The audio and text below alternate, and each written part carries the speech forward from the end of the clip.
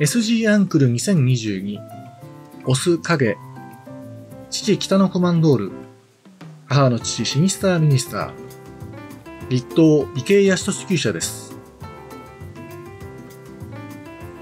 クラブの初年度募集場で2018年の皐月賞日本ダービーへと駒を進めた北のコマンドールの子供がラインナップに加わりました。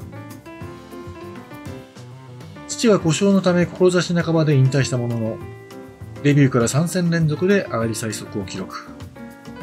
重賞初挑戦の皐月賞で5着に奮闘し、黎明期のクラブに大きな夢を与えてくれました。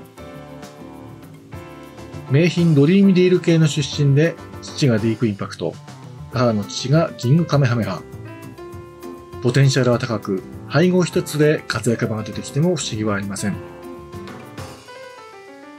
母はダートの短距離で3勝をマーク。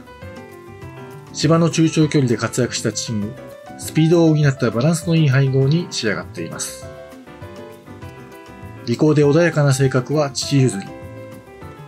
馬体も日を追うごとに充実してきています。